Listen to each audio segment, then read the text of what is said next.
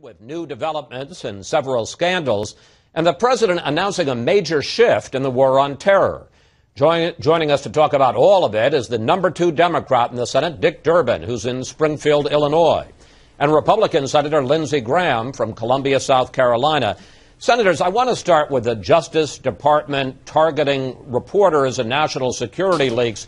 Here's it turns out that Holder signed off on an affidavit for a search warrant in one leak case, and I want to bring that up with you. Here's what uh, that affidavit said. There is probable cause to believe the reporter, in this case Fox News' James Rosen, has committed a violation of the Espionage Act, either as an aider, abettor, and or co-conspirator.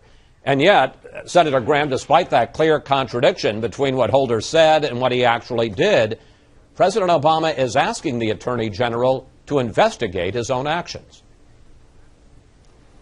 Well, this would be a good time to have a special counsel come forward or some independent group to look at it. James Rosen is a lot of things, but a criminal co-conspirator conspirator he is not. We're beginning to criminalize uh, journalism, and I think that should worry us all. But having said that, when classified information is leaked out in the public that, that can put our operations or American operatives in harm's way, we got to find a way to pursue that too. But this is clearly an overreach.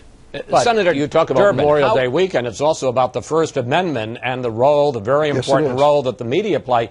Honestly, are you comfortable with the idea that the president has asked the attorney general to review the attorney general's own actions? Well, you, have raised an important point, and I heard Senator Graham call for special counsel. I'm not ready to do this at this moment. I'd like to know if Holder uh, has any conflict in here beyond what we've heard uh, when it comes to the Fox case. But